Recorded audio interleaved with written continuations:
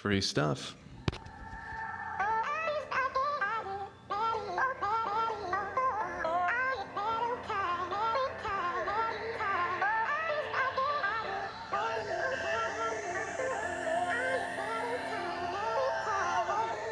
Welcome back to another Bit Legend video, fellas. This is going to be a quick run through on how to get your free stuff. So, if you're looking for the NPC, he's right over here where Iron Girl used to be. So if you're in the center of town, you're going out west like Tom Waits, and you are going to click on him. And you need a key code, so I will show you exactly how to do that.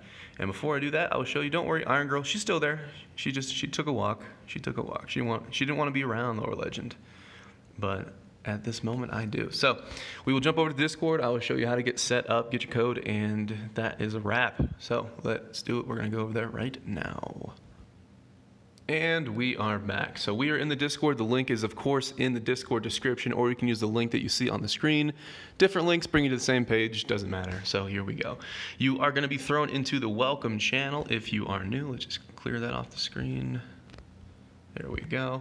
So if you throw into the welcome channel, you should definitely read through all this. It's pretty simple. Obey the rules of Discord and, the game, and then you're going to be good to go. To enter in and get all the privileges to be a member of the channel, you can type question mark enter without any space. You're going to hit that little enter, you know, enter button right over there, little blue triangle. Um, That'll enter in the text. The bot will update your role, and then you should be able to see almost all of these channels so you can immediately go and chat with your friends. Now, if you want to get your key code, you're going to go down to Content and Streamers, click on Coupon Redemption. You're going to come down here. It's got all the descriptions for you if you forget the video, but the code is this. So you can type in exclamation point code and then your user ID, which you can find in the info button of your character page. And I'll probably go back in game and show you that. But this is all you gotta do. Type an exclamation point code, no space between the exclamation point, and then your user ID is gonna look something like this. You hit enter, the boss will send you a message. The boss, the bot, will send you a message, and you will be uh, sent on in your code. So let me show you what that looks like as well. So let's jump back into the game. And we are back a second time, so now we are in game. If you need to find your user ID, click on your character, click on this little eye in the top left corner, and then right at the top it says your ID right there, and then just type on, type all that in there. It should work for you. Use a correct ID, don't use someone else's ID. The bot will mess up and it won't give you a code, so don't, don't mess it up. And then as far as codes go, you go over here, you click on Lower Legend, you click on exchange, you enter in your code. This actually is my code. All the codes are only usable once, so it doesn't matter that you guys are seeing this. If you enter it in, it won't work.